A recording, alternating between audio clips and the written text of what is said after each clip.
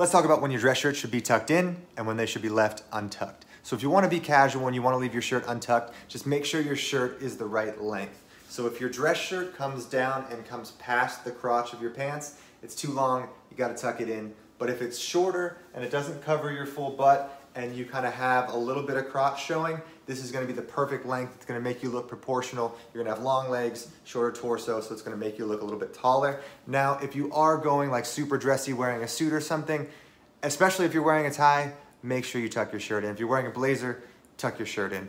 Um, if you're going to wear jeans and tuck your shirt in, make sure that your jeans are a little bit higher waisted. If you wear super low rise jeans and tuck your shirt in, one, your shirt's gonna come untucked all the time. And if you're not in the best shape of your life, you're going to look a little bit chunkier than you would with something a little bit higher waisted. Hope that helps guys. Stay tuned for the next one. Cheers.